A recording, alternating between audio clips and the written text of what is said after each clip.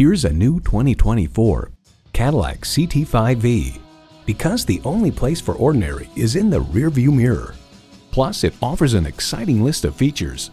Integrated navigation system with voice activation, front heated and ventilated leather bucket seats, Wi-Fi hotspot, hands-free liftgate, automatic transmission, automatic with driver control suspension management, streaming audio, dual zone climate control, magnetic fluid filled shocks, steering assist cruise control, and twin turbo V6 engine.